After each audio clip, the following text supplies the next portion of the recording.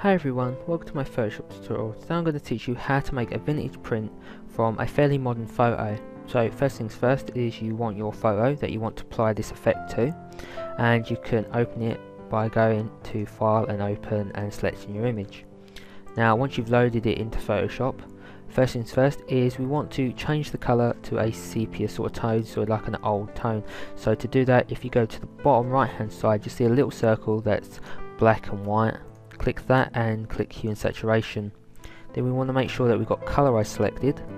Then you're going to get this reddish tinge which we don't want. It looks awful. And so we're going to put the hue to 26 and the saturation to 19 now you can play around with the hue around 20 to 26 somewhere like there depending on your photo because all is different.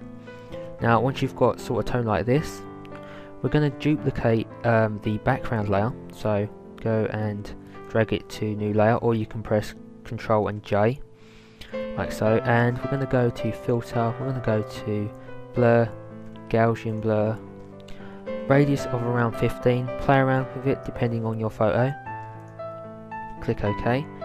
Now it's blurred out the main um, the effects of her face and hair and her hands which we don't want. So we're going to go to the eraser tool and just erase away that blurriness and the face, the hair, like so. So we get that. And the hands. Now I'm just doing this really quickly. The more time you spend on this, the better it'll look. So I'm not just paying much attention really like so. Now we've done that. Now the next thing is we're going to make a new blank layer. So click the new layer icon. And we're going to go to the rectangle Z tool which is on the left hand side. We're going to make a small little box in the top left hand corner. We're going to go to filter we're going to go to render and clouds. Then press Ctrl T for free transform. Now we're going to make it the same size as our image and press the tick like so. And then we're going to go and select the blend mode to overlay. Now depending on the clouds it's like random.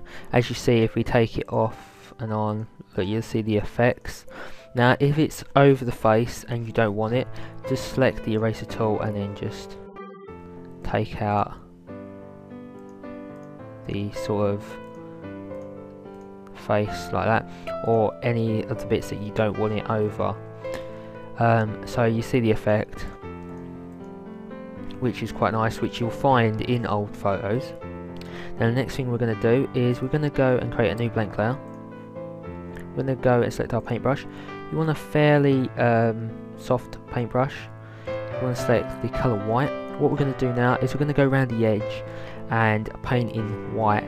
Um, just not too far of the edge so it's like a sun bleached um, effect like this just being really quick.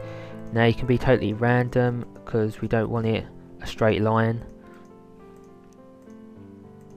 like so.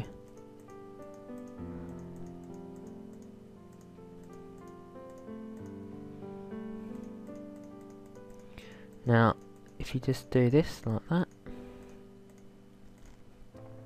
and there you go you have your vintage picture from a fairly modern um, photo. So I hope you like the tutorial. Um, you can add a lot more stuff to this if you want. Uh, so please comment rate and subscribe and please visit my website and the link is going to be in this description box below. So please check that out and I'll see you next time.